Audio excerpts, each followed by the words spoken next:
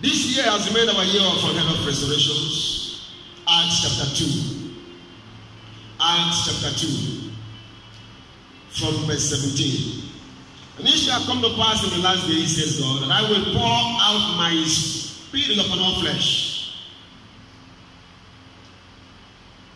And your young men shall prophesy. Your young women shall prophesy. Your and your daughters, they shall prophesy. I like that. It shall come to pass in the last days, says God, and I will pour out my spirit upon all flesh, and your sons and your daughters shall prophesy. That is God's agenda of restoration that He has planned for you and I this year. God wants to turn people who are not useful to Him to become useful. God wants to change the story of everyone who has been useless to God to become useful to God. It shall come to pass. It shall come to pass. That's what God says. In the last day that I will pour out my spirit upon all flesh. Acts chapter 2, verse 17. God says, Your sons and your daughters they shall prophesy. Your young men shall see visions, your old men shall dream dreams.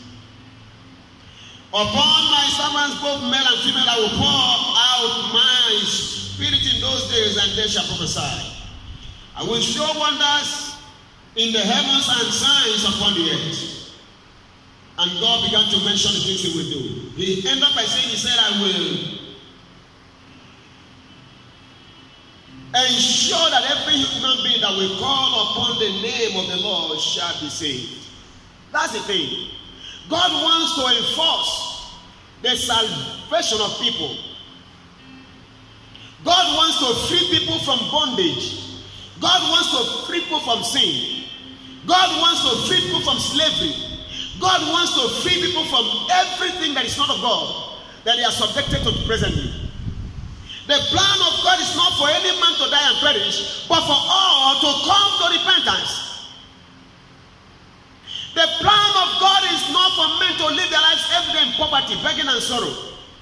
God wants to pour out all He is into people so that people can become all God planned for man in the beginning. We are told in chapter 2 of Genesis verse 7 that God formed man from the dust of the ground. And God put his breath into man's nostrils, and man became a living soul.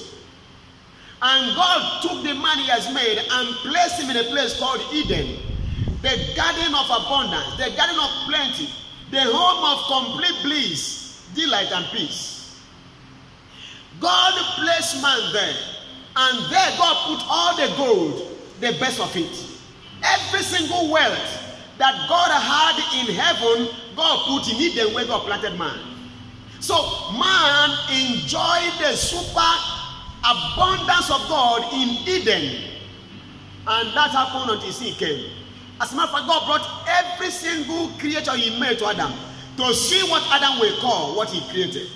And whatever Adam called as a name to everything God brought to him became the name thereof. God gave man power to operate in his class. And that is what God wants to do because many of us, due to sin, we, we lost out from being who God ordained us to be. We lost out. And the plan of God is to restore us so that we can begin to operate like Adam in the beginning. So that we can live like Jesus Christ when he came here to this world. That is the plan of God. That is the plan of God. It's not God's will for me to be sick. It's not God's will for you to be sick. Sickness came as a result of sin. It's not God's, God's agenda for you to live every day trying to solve problems that the devil has brought to us. God gave man power to rule over the devil in the beginning. Satan was here on earth, but Satan was never a problem to Adam. until sin came. Satan could not access Adam. He had to pass through a serpent to be able to enter Eden.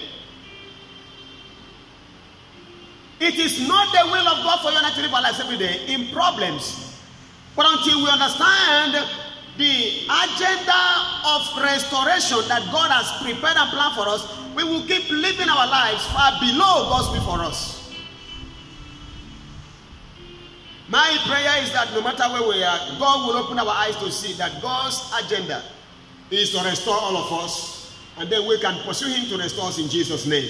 Amen. Look at Acts chapter number 3. The book of Acts, chapter 3. Acts chapter number 3. I will read from verse 18 to verse 21. God's agenda of restoration. This is the only thing that God wants to see happen in these days. Acts chapter 3 from verse 18. But those things, underline, those things which God before had shewed by the mouth of all his prophets, take before his prophets that Christ should suffer, he had so fulfilled. Every single word God spoke about Christ, God has fulfilled it. Take note.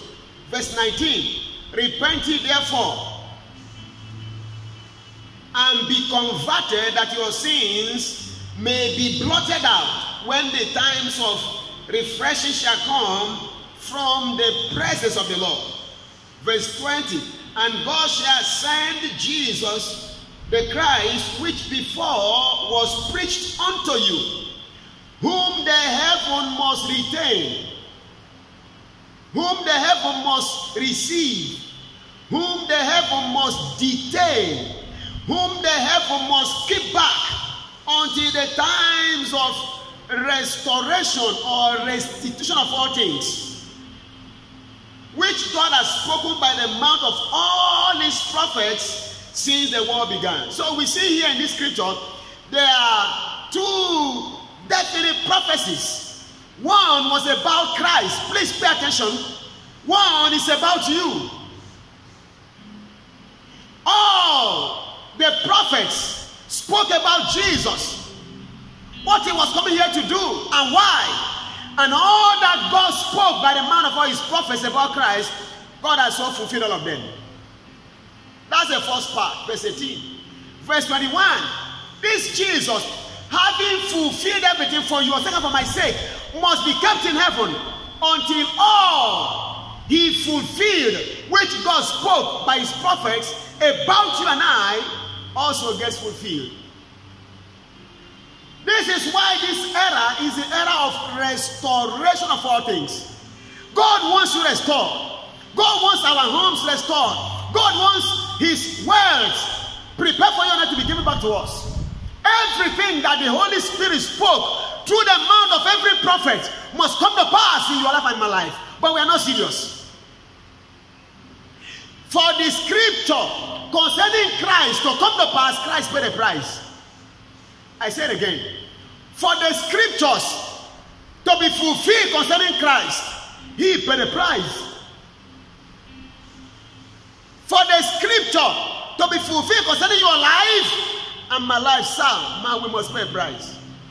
The price is not to die like Jesus, but the price is also a price to be paid. All the prophets spoke about Jesus. All the prophets spoke about the things Christ was coming here for. And all the prophets said God fulfilled. Why will what God has said about you not be fulfilled? Why do you think that God will not fulfill what He has said about you through the mouth of His prophets if we are responsible people? If we take our stand like Christ took his stand. Jesus Christ came and he read the word of God and he discovered what God said about him and he began to constrain himself to align himself to what God has said. And as he did, God worked out his word for his life. But we see what God said about us. All of his promises, they are yes and amen in Christ. We see it, we hear it, we just dump it and we continue our way. That's why we are. This is a time of restoration or restitution of all things, which God, by the mouth of all his prophets, has spoken since the world began. This is a time of fulfillment, and God says Jesus must be kept back in heaven until all he has said about you is fulfilled. That means God wants to restore you. God wants to restore me. God wants to restore his church. But you see what? The church we have today, we are playing religion. Some will go to church sick, they will return sick.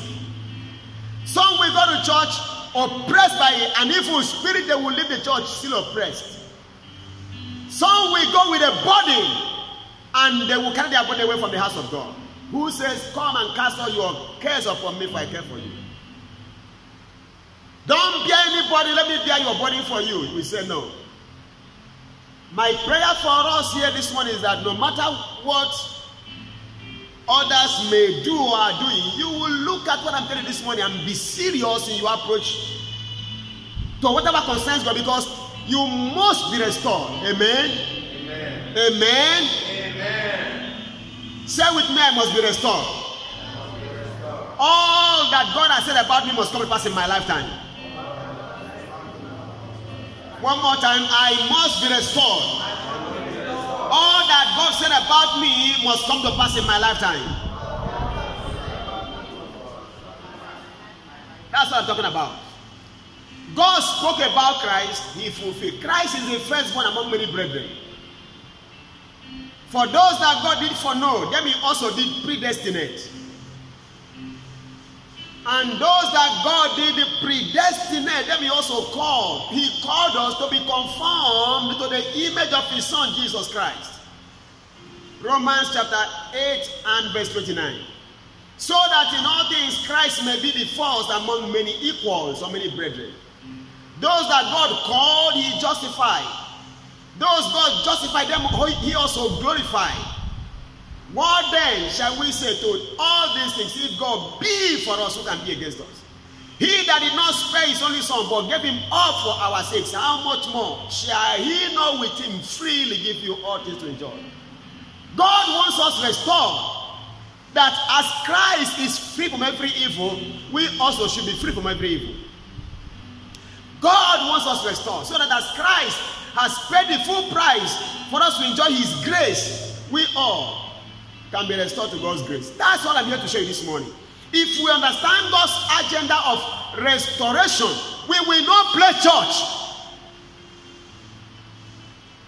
It grieves my heart when I see the body of Christ playing church, carry problems and challenges, and we carry them as though Christ didn't die for us. Why must it be that way? I pray God will help us to apply seriousness in our approach to the things of the Spirit.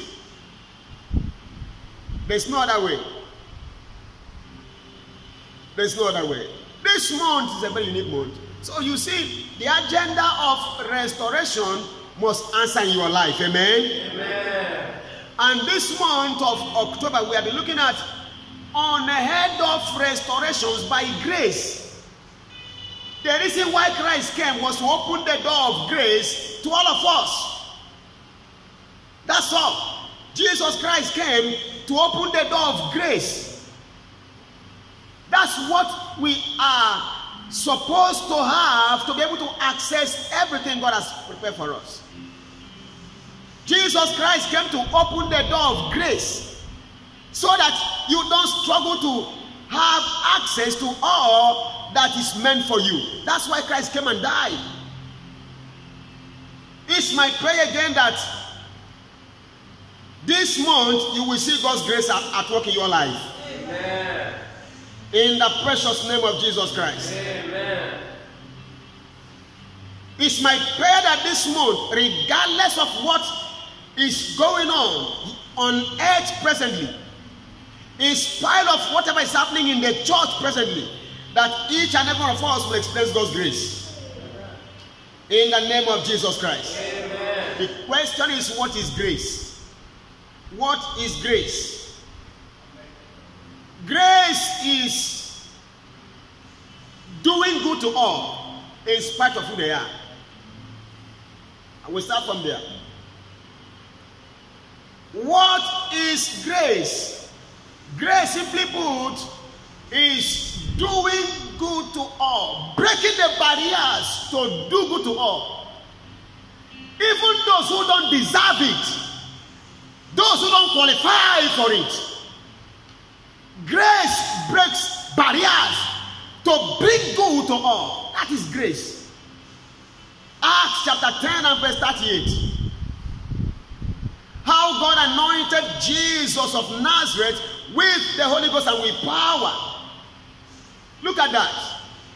God anointed Jesus of Nazareth with the Holy Ghost and with power, who went about doing good to all and healing all who were oppressed of the devil.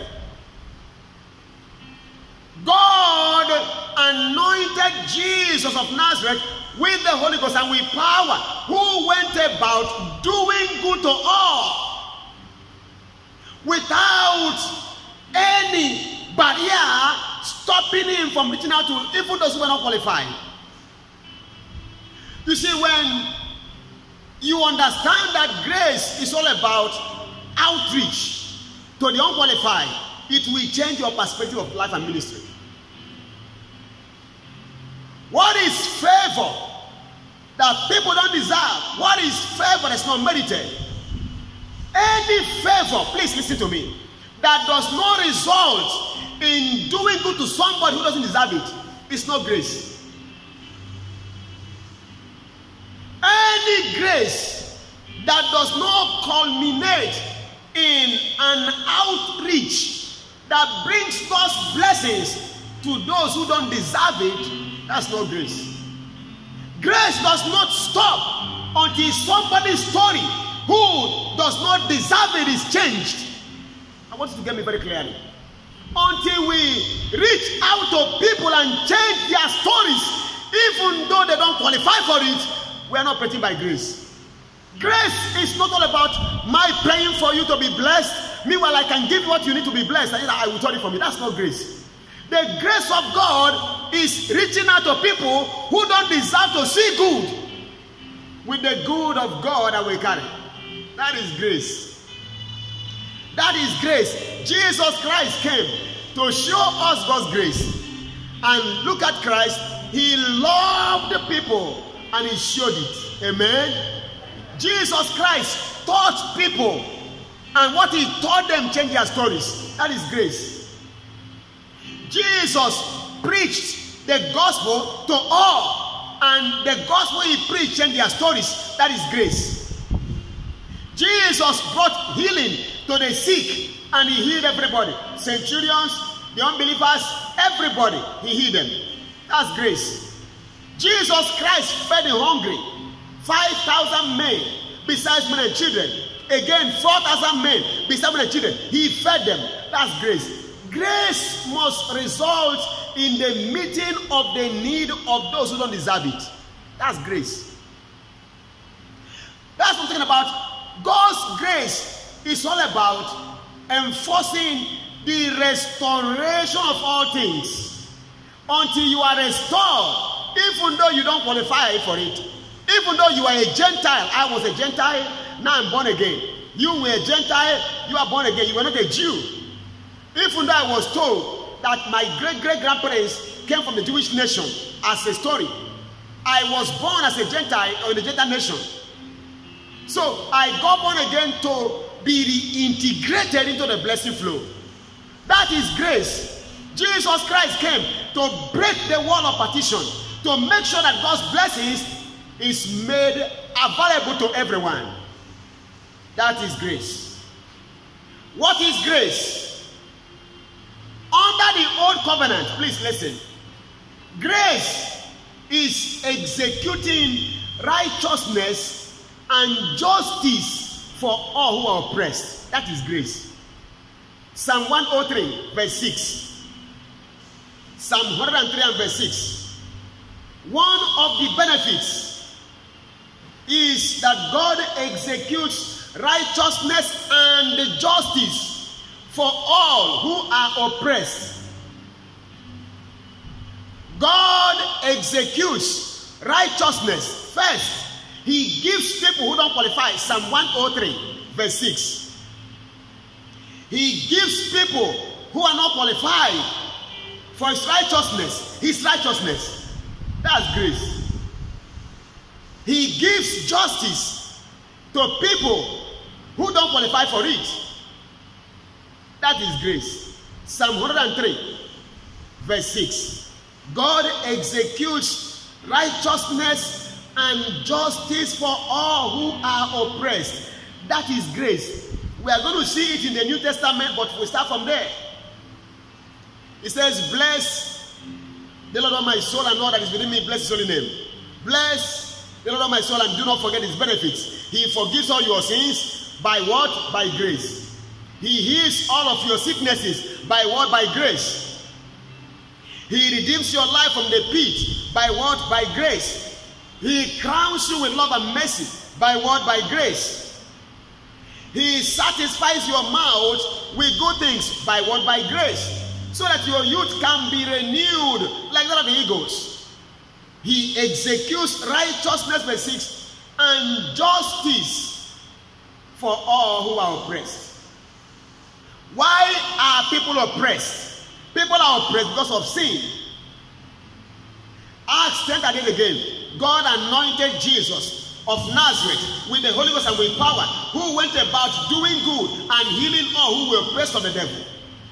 What was it that opened the door for the devil to oppress people, sin. But when Christ came, nobody was a saint, nobody was born again. Jesus Christ came empowered by God, carrying God to the people to stop the wicked works of the devil in their lives. That is grace. We see in John chapter 1, verse 14, that out this Jesus is the living word made flesh.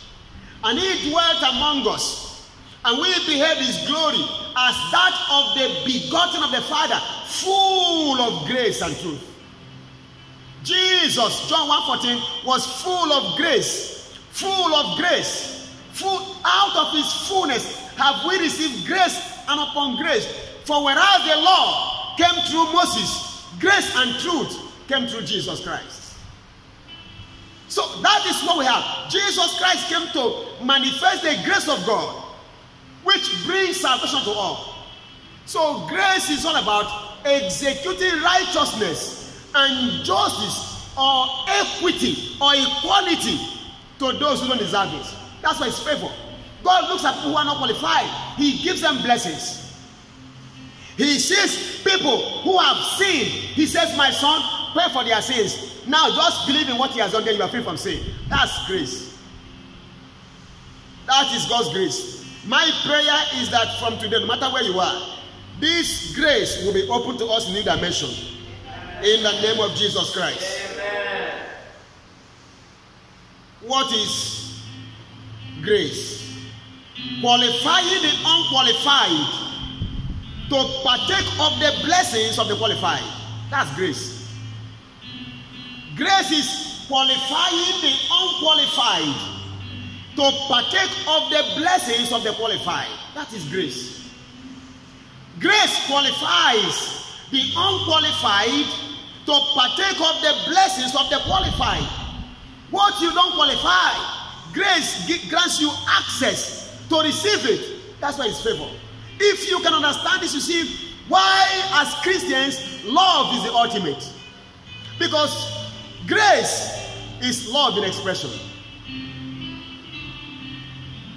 Grace is love in expression. For God so loved the world, the world that hated God, the world that worked against God, the world li- living under the dominion of the devil. God so loved us. He gave His only begotten That's grace. That whosoever, whosoever, limitless, Whosoever, no matter where you are coming from, if only you can believe in him, if only you can save his son Jesus Christ, you'll be free. That is grace. Grace is love in expression.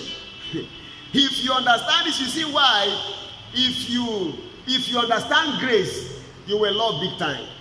Many of us will live by the law. You do good, you see good. You do evil, you are punished for your evil. That's what Israel saw. They never lived under grace. Israel lived under the law. What is the law all about? You earn everything. That's law. You earn it. If you don't earn it, you can't have it. So for you to have peace, you must keep the law. You earn it. For you to have any blessing under the old covenant, you must labor for it. That is living under the law.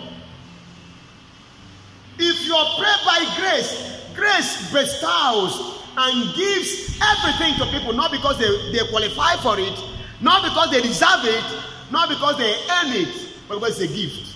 That's why the gift of God has brought salvation to all. That's grace. My prayer that this month, God's grace will speak in your life. Amen. In the name of Jesus Christ. Amen. That's my prayer. Why do we need grace? Why? Why do we need grace? The first reason is for everybody to experience salvation and freedom from evil. Why do we need grace? For every single person to experience salvation and freedom from every evil. That is what grace has done for us.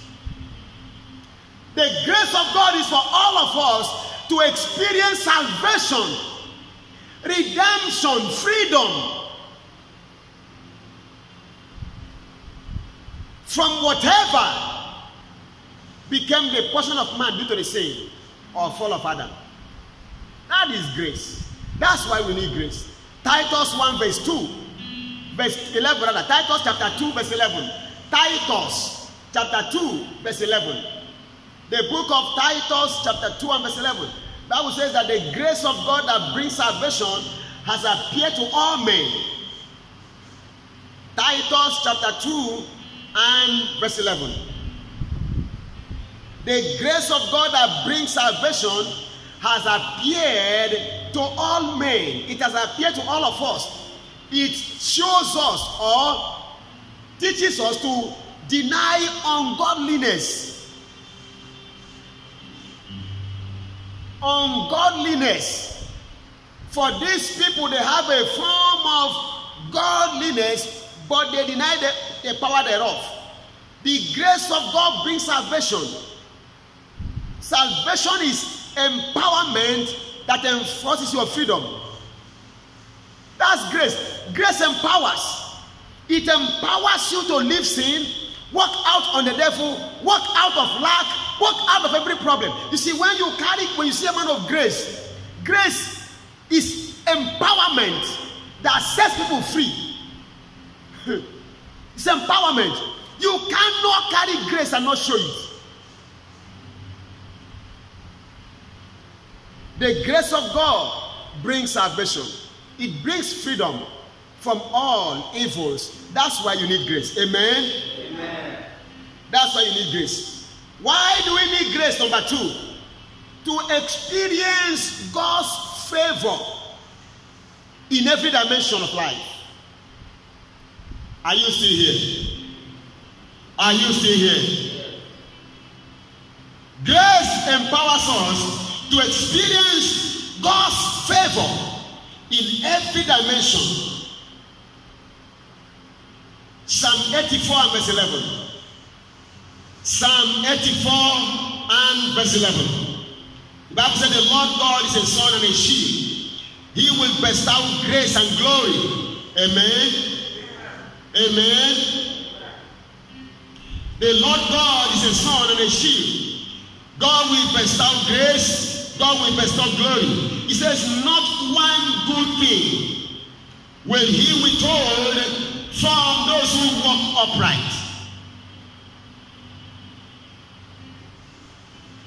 He will not withhold anything. If you look at Matthew, Matthew chapter chapter 5 and verse 45, you see that the sun shines on the good and the evil. God's sun, like this sun sunlight you are seeing now, shines on witches and wizards. It shines on the just and the unjust. It shines on everybody. Even those who don't deserve the sun, they experience the rays of the sun and the light of the sun from the sun. That's how God is. God's favor is made available to all. That is grace. He's a sun and he's a shield. That is grace. God gives sun and the blessings the sun confers to everyone, even those who should not have it.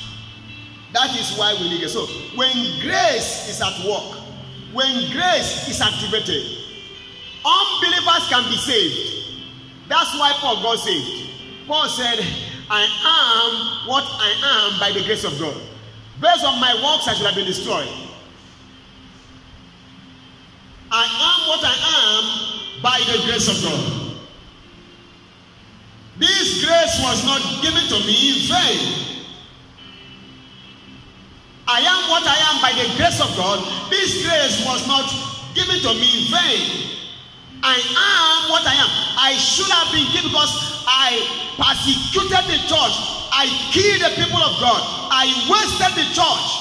But grace rescued me. I am saved because of grace. I am a minister because of grace. I am reaching out to the world because of grace. Grace brings God's undeserved favor to us in every area of life. Why do we need grace? We need grace to experience God's restorations.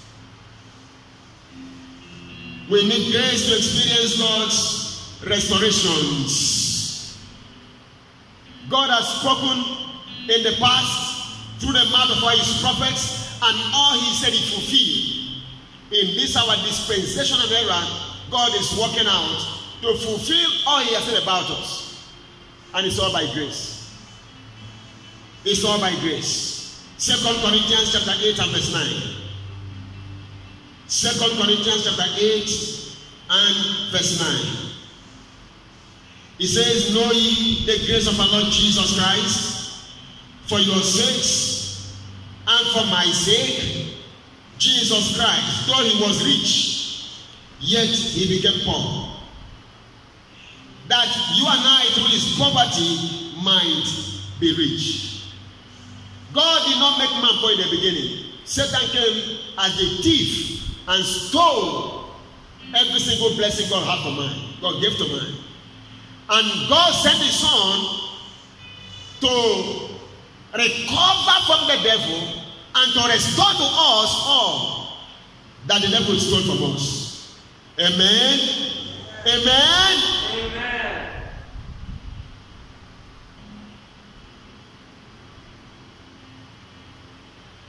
Hallelujah.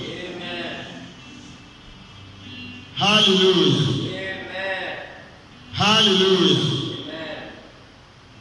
Hallelujah.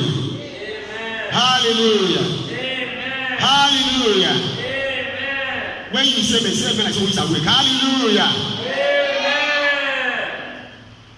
Knowing you the grace of our Lord Jesus Christ, for your sake and for my sake, Jesus Christ, though he was rich, yet for your sake and for my sake, he became poor. That we through his poverty might be made So God ordained grace as a platform to bring to us all that He has prepared for us is to enforce our restoration. That's why we have grace. That's why God has prepared grace. Know ye the grace of our Lord Jesus Christ. For your sake and for my sake, though Christ was rich, yet for your sake, for your sake, He took all from both Satan who stole it from Adam and from God, all power in heaven and on earth. All power in heaven, all the wealth of heaven, and all the wealth upon the earth that Adam stole, that Satan stole from Adam, he took back all, all power. The powers that rule heaven and the powers of placed here on earth, Christ took back all. And he took them for your sake and for my sake to restore all to us. That's where we are right now. If he has taken all and all power in heaven and earth is his, why do you think God belongs to him? So that he can have it back. Nothing more, nothing less. It is for you and I to have today everything Christ is entitled to. Know ye the grace of our Lord. That for your sake he became poor. So that you and I can become rich. That's restoration. My prayer is that before this month is over, God's agenda of restoration will answer in your life in Jesus' name. Amen. Say me like a believer. Amen. May He be so for you in Jesus' name. Amen. How God manifests grace finally. How God manifests grace. How does God manifest grace? Number one, God, God's grace is manifested in doing good to all. This thing must sink.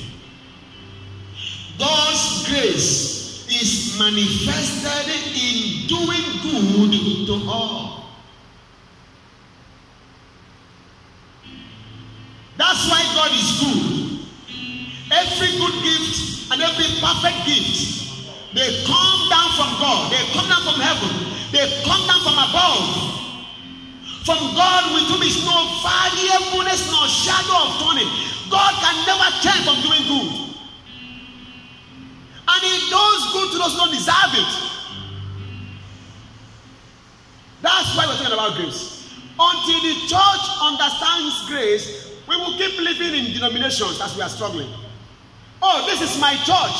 Your church may have money, and you see another church beside you that Christ paid the same price He paid for your church to be free, and they need your help. And you look at them and you pass by, just like the Levite and the priest. You see those under the touch of the devil, you just bless them and you continue. God bless you, shall be well with you. Amen. And you continue. That's not grace. God's grace is manifested in doing good to all. Number two, God's grace is manifested in meeting the needs of the unqualified. God's grace is manifested in meeting the needs of the unqualified. And finally, number three, God's surpassing grace is manifested in giving, in giving all things to meet the needs of all people. I will stop here for today. God's surpassing grace is manifested in giving of all things to meet the needs of all people. That's where we're going to stop for today. Second Corinthians chapter 9 from verse 6 to verse 15. I will read and we'll close. Second Corinthians chapter 9 from verse 6. He says, But this I say, he which sows sparingly shall reap also sparingly. And he which sows bountifully shall reap also bountifully. Second Corinthians 9. Now verse 7. Every man according as he purposeth in his heart, so let him give not grudgingly let him give, not grudgingly or of necessity, for God loves a cheerful giver. Look at that, verse 8. And as a result of bountiful sowing and cheerful giving, God is able to make all this to one. That you always, having all sufficiency in all things, may abound to every good work, as it is written. He had dispersed upon he given to the poor. His righteousness remains forever. Now he that ministers seed to the sower both minister bread for your food, and multiply your seed sown and increase the fruits of your righteousness, being enriched in everything to all bountifulness, which causeth through us thanksgiving to God for the administration of this service, not only supplies the want of the saints, but is abundant also by many thanksgivings unto God. Whilst by the experiment of this ministration, they glorify God for your professed subjection unto the gospel of Christ and for your liberal distribution unto them and unto all. And by their prayer for you, which long after you, for the exceeding or surpassing grace of God in you. Thanks be unto God for his unspeakable gift. The exceeding grace of God, the surpassing grace of God is manifested in your giving. Until you understand that, you will struggle with grace. My prayer is that today, God will bring us into a rhythm of walking and expressing His grace in Jesus' name. Shall we rise to pray? Shall we rise? Oh, Father, thank you. Father, thank you. Shall we rise to pray? Just thank Him and appreciate Him.